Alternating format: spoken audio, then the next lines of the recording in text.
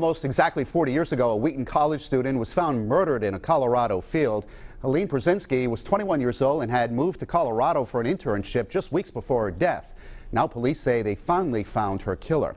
Eyewitness News reporter Kim Kalunian joins us now from the newsroom with a break in this decades-old case and reaction from the victim's family. Kim?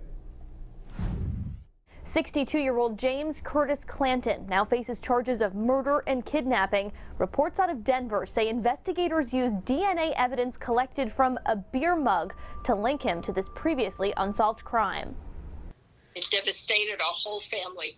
It, it, just crushed our world. Helene Pruszynski's sister, Janet Pruszynski Johnson, has been grappling with the grief of her younger sister's death for nearly 40 years. Now, news of an arrest. The emotions are as raw in some ways as they were 40 years ago. Officials in Douglas County, Colorado, announcing the arrest of this man, 62-year-old James Curtis Clanton. District Attorney George Brauchler called Helene's sister Janet with the news. I think this is the kind of phone call that at some point you don't expect to get.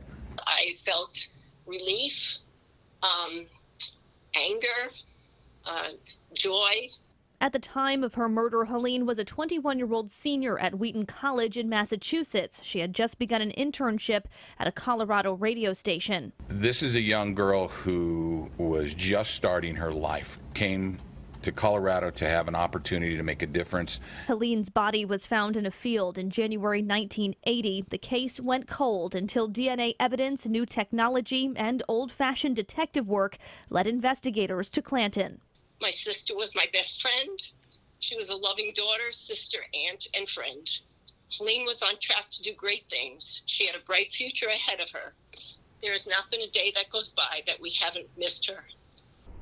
And I did reach out to Wheaton College today, a spokesperson there telling us Helene's untimely death was tragic at the time and remains so 40 years later. The thoughts of the entire Wheaton community are with her family, friends, and classmates as they continue to grieve Helene's loss and manage the emotions of this new information. Helene's sister tells me the people who worked on this case are her heroes, and she looks forward to justice being served. In the newsroom, I'm Kim Kalunian, Eyewitness News.